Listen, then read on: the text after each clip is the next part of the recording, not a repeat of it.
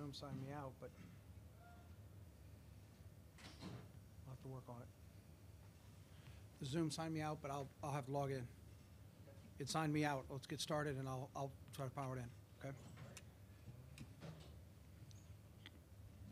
Okay. All right, welcome back to Baton Rouge, everyone. Site of the first and second round for the women's NCAA tournament. Time now to talk with the LSU Lady Tigers. Joining me on my far left is guard Hailey Van Lith.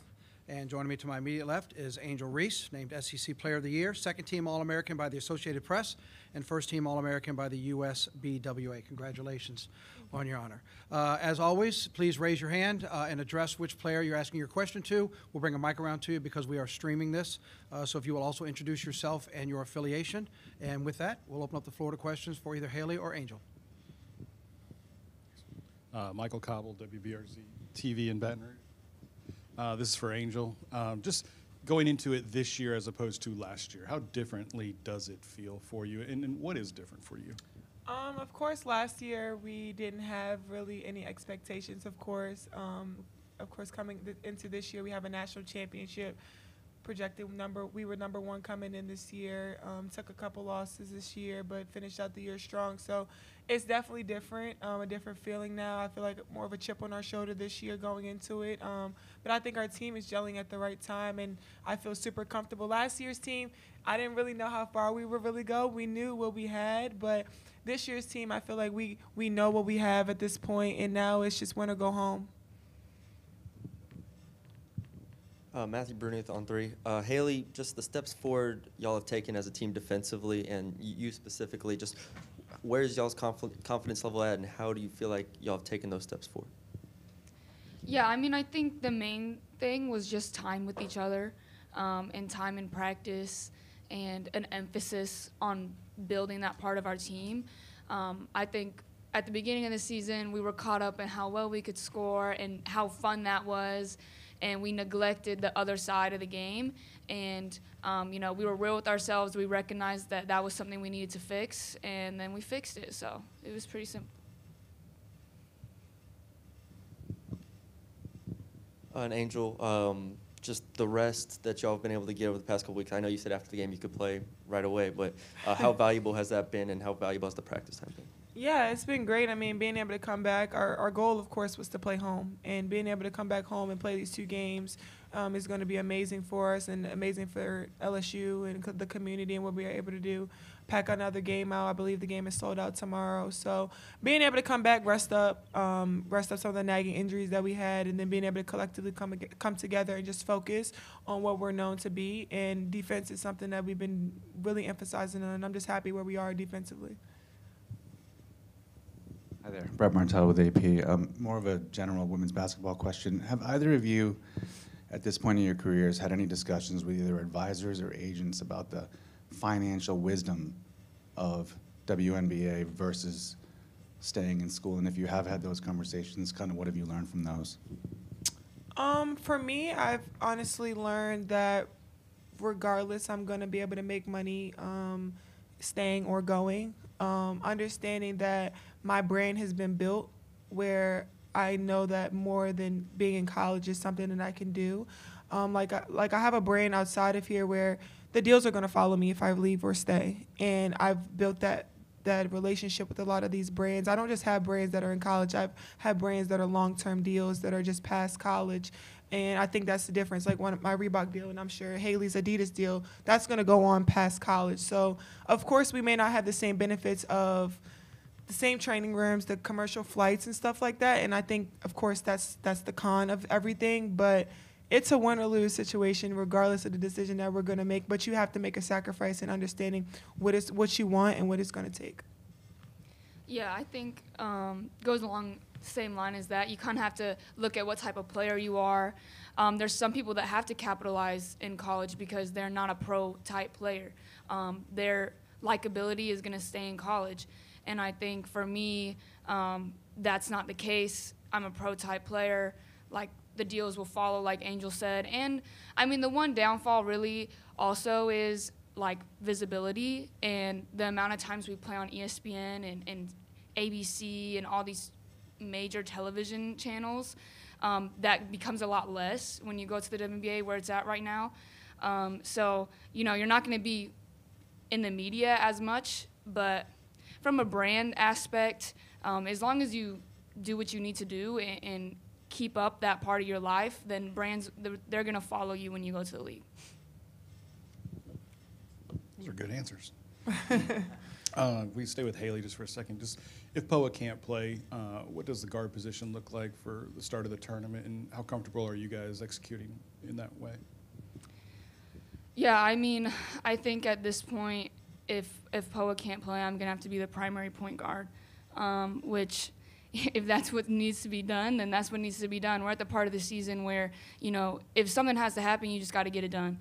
And whether, if that is me being a traditional point guard and, and not scoring that much, like, I'm just trying to get to the next round. And that's what it is at this point. I'm too old for all that other stuff. Like, I just want to help my team win, and um, we would love to have Poa. She helps our team a lot in a lot of different ways. But the reality is, if she can't play, then we need to adjust. Chessa Boucher with NBC 33 here in Baton Rouge for both of y'all. Rice is playing their best basketball round one. Obviously, you've got to get through round one to make it to round two. But what do you expect to see from this team, from both y'all, from the post position and the guard position? Yeah, I mean they have a big post, a big body post um, down there. We watched a lot of film on them. Just being able to understand our versatility and use that as our advantage. For I'm speaking from the uh, the post position. Um, I think they do a great job being able to stretch out. Their four player is like a guard, um, probably will be a guard on any other team. Um, super versatile and just understanding our matchups is going to be super important. But on the defensive side, just being able to help our guards as much as we can, I think that's what has gotten us this far um, so far. Just being able to be there for our guards and helping them with our guards. They have a great left hand point guard, which is really good. So just doing whatever it takes to win is going to be important. Yeah, I mean, I think you see with these smaller schools in the beginning of the tournament, um, they're going to be smaller than us, um, but they they are very versatile. They they have a stretch four. Um, they can shoot on the perimeter. Our bigs are going to have to come out and go, be able to guard, which we know they can. We have very athletic bigs that can move their feet. Um, and yeah, there's there's certain challenges to it, but we also have advantages um, that we're going to capitalize on: the size, the athleticism, um, the experience at this level, and yeah, we're very excited to play them. Corey Diaz with the USA Today Sports Network. Hailey, for you, you've been on teams in the past that have made deep runs in the NCAA tournament. So I'm curious of your perspective of, of this LSU team, what you what you remember about those teams and their makeup versus what you got now here at LSU. Does it compare, contrast, and do you think this team is is built for a deep run?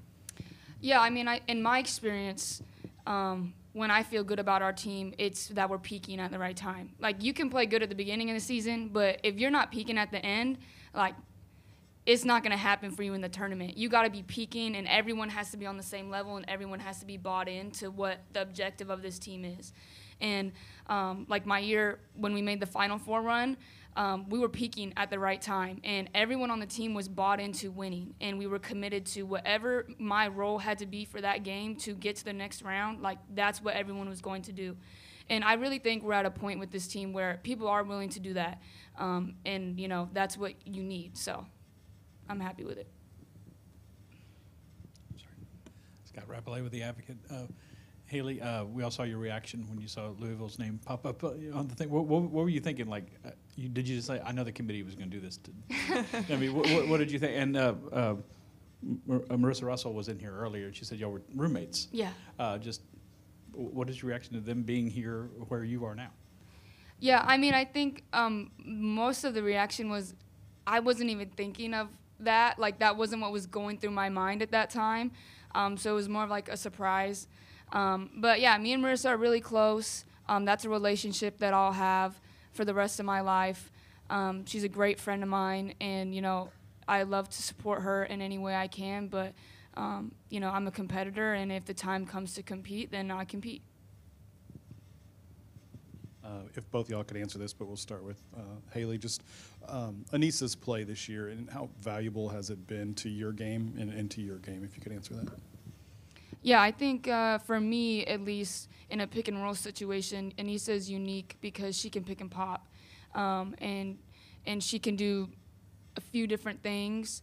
um, out of options with that, and I can give her the ball in unique places because she can create um, farther from the basket, and um, she has a little bit more of a guard skill set um, with her size, and so um, yeah, I mean it's been it's been challenging learning. I've never really played with a player like that, so it's been challenging for me as a as a point guard to learn how to help make her successful the best way that I can. And so you know that's been something that I've been grateful for the opportunity to learn to play with someone like her. Um, I mean, I feel like I've said this before. Aneesah's not a second team player. She's not an honorable mention player. And I think sometimes she gets overshadowed because of me. And it's tough. And I, I hate that. I hate that for her. Um, but she works hard. She makes me better every day. We don't go as far as we do and as far as we've been without Aneesah. Her defense, her work ethic. She works hard every day. I mean, she doesn't complain about anything. She always comes in and just has a mindset that she wants to get better every day. So being able to have a player like that, a teammate like that, a sister like that, where you just love to have her. You always want to have somebody like that on your team, but you don't want to go against her. Uh, Brett Martel again with AP, and this is for Angel. How would you would you say you would summarize kind of the arc of your season so far in terms of not just adjusting to uh, a, a number of new high-profile teammates and figuring out your role among them, but also just how much fame you came into this season with versus last year and managing all that? Yeah, I mean, um, it just goes back into what our theme for the year is: dig deep roots, and we talked about that from the beginning of the season.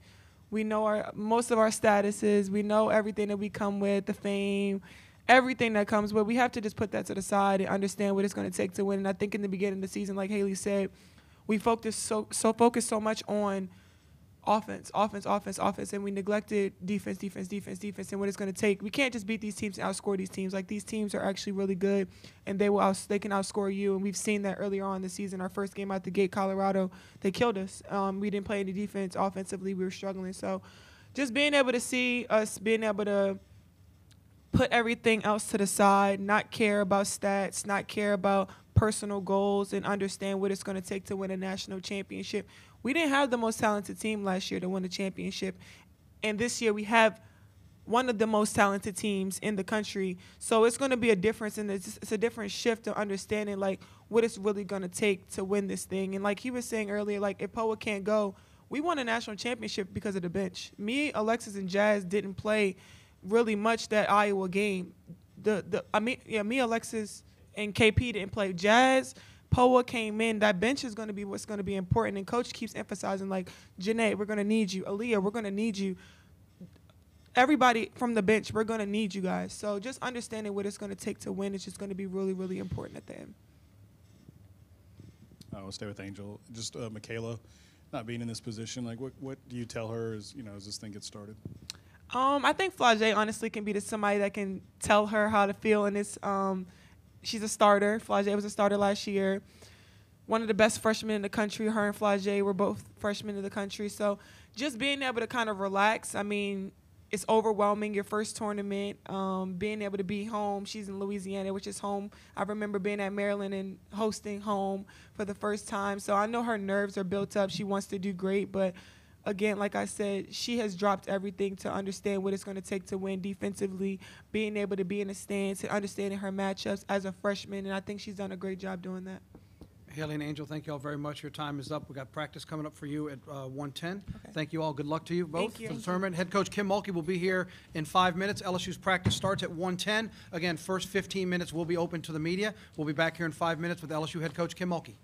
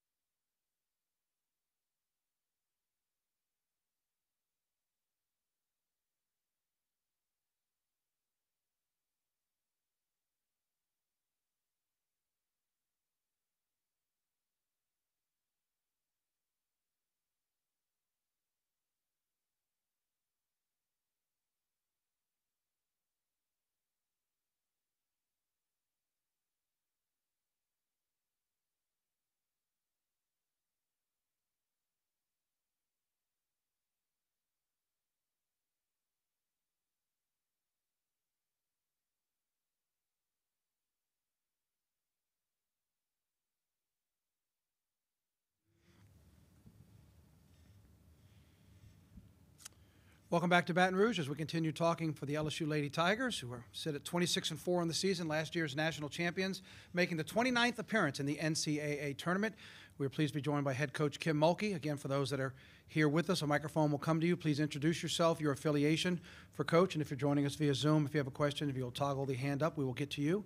And with that, uh, coach, welcome, congratulations again, and we will open up the floor for questions for head coach Kim Mulkey. Hey, Kim, Corey Diaz with the USA Today Sports Network. I just wanted to ask you about last year, POA. It, is she available tomorrow? Do you anticipate her being ready to go? Yes, she should be available unless something has changed overnight. She did practice um, yesterday. So if you're out there practicing, I'm assuming you're cleared. But honestly, I didn't even ask. We just went to work. So unless something has happened um, between yesterday's practice and today, I assume I'll see her today and she'll be good to go. Yeah, coach. Oh, Matthew Bruni on three. Um, Rice obviously won the tournament, four straight games there. Just where do you start with your uh, evaluation of them and, and where they attack? Well, we certainly watched the four games of the tournament.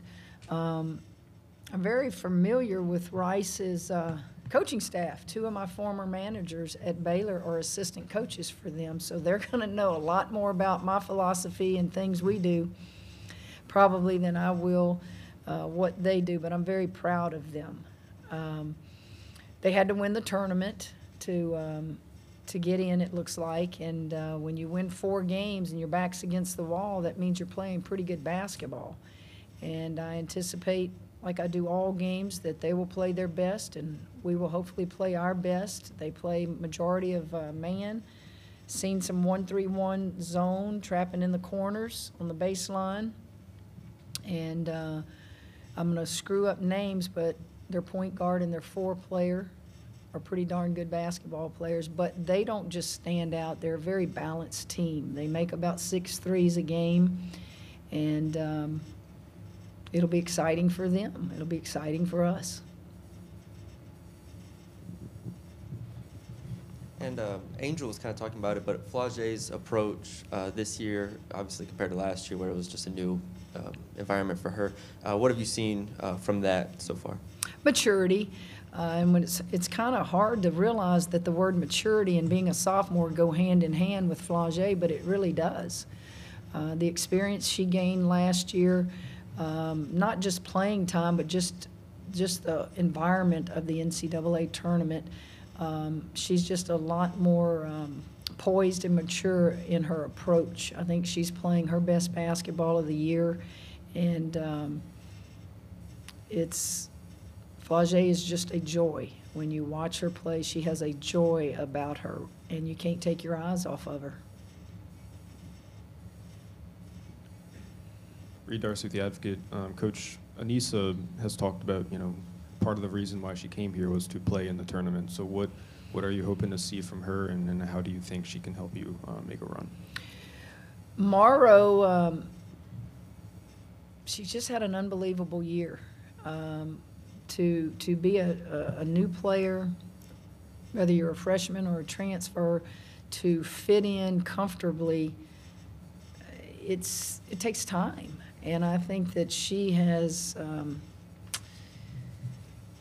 fit in comfortably quicker than I thought that she would, and a lot of that has to do with um, her energy. She just has a motor and she she starts the game the same way she finishes it. I'm sure she gets tired, but I don't look on the floor and think I got to get her off the floor. She's tired. Um, she's an undersized post player that uh, can get up with the best of them in that paint area, uh, and yet she could guard you on the perimeter if she needs to. Um, and this is exactly why she came. She told me she wanted to get to the postseason. Chessa Boucher with NBC 33 here in Baton Rouge. Coach Mulkey, your philosophy is defensive rebounding, defense and rebounding. Both Angel and Hailey said that in the start of the season, for them, it was all about points, and now they feel like they're playing their best basketball defensively. Do you agree with that? Yes, and I don't want it to, I hope they didn't come across and sound very selfish. I've said all along, we can score the ball. On our worst day, I've got that many scores. but we um, we had to buy in to be a better defensive team. Rebounding was going to be okay because you had Angel back. You knew that was a walking double double, and then you add Morrow to the mix. We lose Sa'Myah, so then you add Aalyah to the mix. Um, I just have always thought if we're going to go very far in the playoffs, we have to get better through the course of the year defensively. And I think that's where our most improvement has been, is that um, nobody likes defense. When you have that many scores on a team, I doubt any of them had to be the defensive stopper growing up. But if we can do it collectively, if we can help each other, if we can take pride in it and get excited about it as much as we do the offensive end, I think you can have a, a good season and a, and a good run in the playoffs. And um, um, it's new for them. Um, maybe not so much Angel as it was. You, I think you said Hailey. Um, Hailey has to defend at a new position up top as a point guard, and uh, then I asked her to go to the off guard when Poa was in the game. So, um, and hold them accountable. I mean, just really have those practices where we don't pick up a basketball.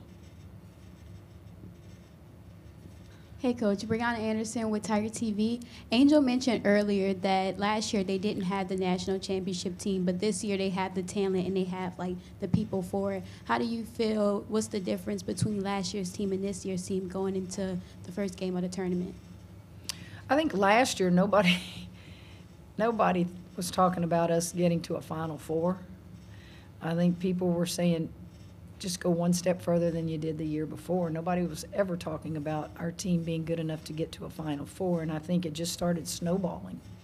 I think when you win the national championship or you get to a Final Four, then expectations, whether it's fair or not, they think you're supposed to do it again. I don't know if it can be done again. Certainly, that's a goal of ours, and we do have talent to do it, but it takes a lot of things to go right to do it. And you have to be playing your best basketball. You got to stay away from injuries. Um, you got to have just a tiny bit of luck on the way, some play that goes your way. And um, we'll see. I know we'll play hard. I know that um, our culture is whatever happens, we're going to go down fighting. That's just how we are. We just fight for every loose ball, we fight for every rebound, we fight for um, just the tip off, we fight for the jump ball. And uh, if you do that, you can live with whatever happens. Yeah, Matthew Brunick on three. Um, just Mikaylah's progress uh, over the past couple weeks, getting her back into shape, getting her ready to play. How has that uh, been going? She hasn't missed a beat in practice. She's been out there every possession. And, um, you know, Mikaylah, to me, is one of the best um, mid range shooters that I've ever coached. And um, she can shoot the three ball. She can take you hard and be strong off the dribble, but um, she's got to she's got to get back in the flow on the floor during a game. And uh, I thought we gave her enough minutes in the SEC championship. She hit some buckets uh, in that game, and if you ask Mikaylah, she'll tell you she she needed to do more, and um, that's what competitors do. So this will be her first uh, shot at a playoff game. So hopefully she'll be excited and uh, have those butterflies, and then do what she does, and that's play basketball. Uh, Michael Cobble, WBRZ TV.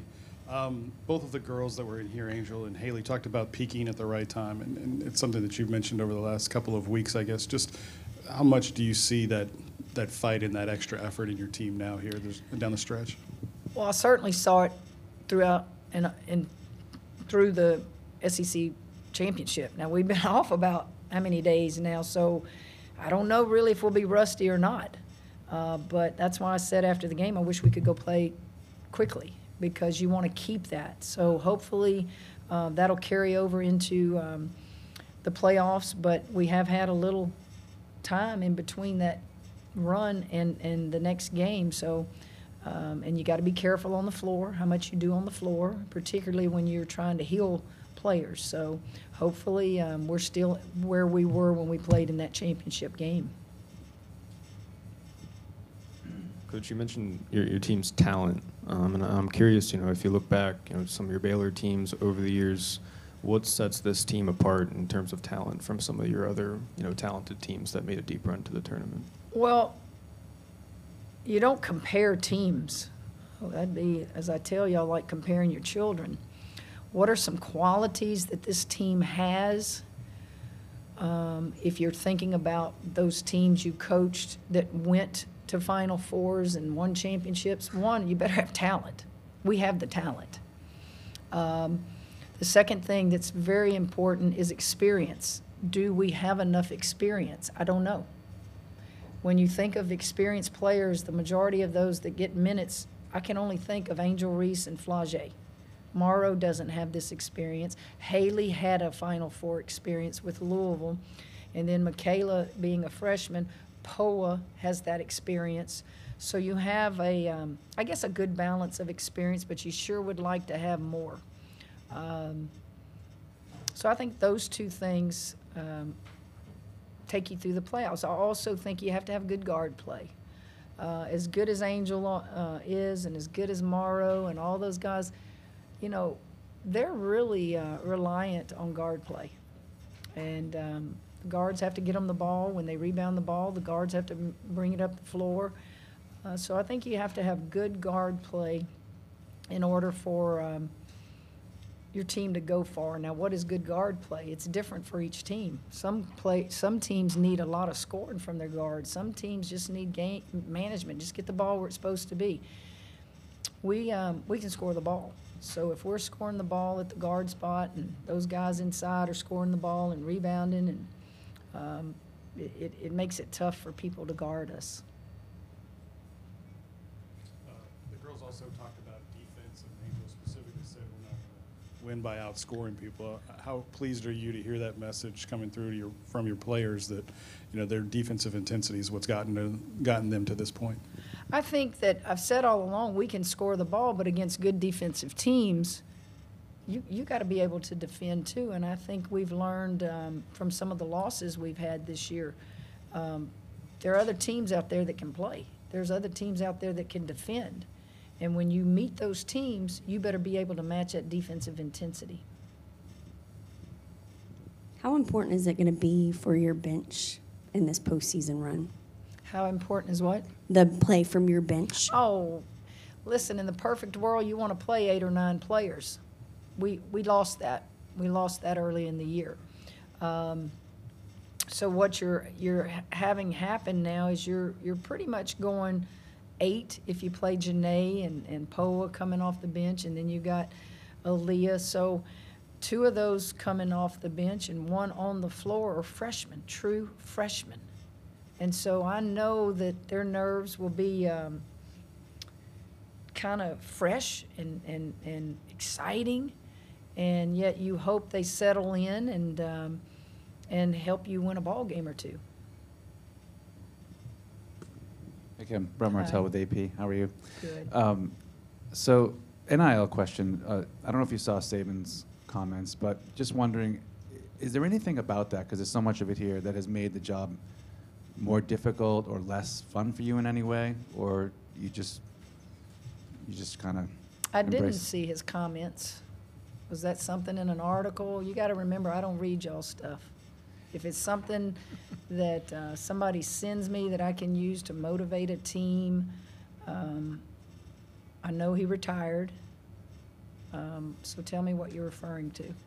Yeah, he, he was essentially saying that um, he felt like it had changed the athletes and their families' priorities a lot in terms of developing as students and men and football players, and it's really just all about like, well, what can I get, you know, and so forth. And I just wanted, and so it made it less rewarding for him as a coach, I guess. And I don't know to what extent it, how does it affect, how do you, how do you feel like it's affected women's basketball or your job?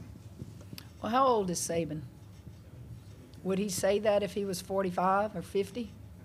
I don't know. I think if you're young and, um, you know, it's the rules set before you, you have to adjust. I think LSU adjusted to NIL before I was ever hired. I, I was hearing stuff about, what was it, NILSU. Um, but that doesn't mean his feelings are not real. That doesn't mean his feelings are not shared by many people. Um, but gosh, through the years of my coaching, you, you have to adjust and adapt to the three point line, to the smaller basketball, to being on television more, to be. I just am of the belief that if you're going to coach, you better adjust. If you don't feel like you can, then you hope you can retire just like he did and walk out in a blaze of glory. Coach, thank you for your time. You bet. Appreciate it. Uh-huh. LSU's practice starts at 1:10 on the floor. First 15 minutes will be open to the media. We will be back here at 2:05 for our next round of press conferences. We'll have players from Middle Tennessee. Until then, have a good afternoon. We'll see you back here in Baton Rouge.